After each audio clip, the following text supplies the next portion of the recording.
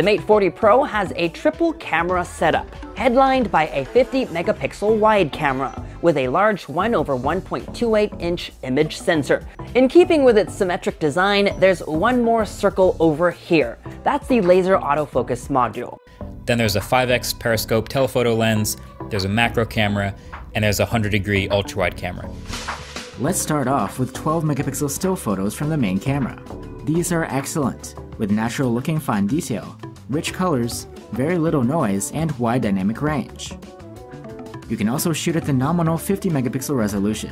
You don't get much extra detail, its main camera completely nukes the iPhone 12 Pro in most situations. It's got that nice big sensor to get a crispy foreground-background separation. The front camera still isn't as natural looking as I'd like it to be, but it's very detailed, almost too detailed. And with this phone, part of the reason we've got that chunky hole punch is that there's also an ultra-wide front camera. And then here's a few shots with the front camera where we also get an ultra-wide lens, although ideally you'd use it to get selfies with a bunch of your mates, but you know, these days and social distancing and all that.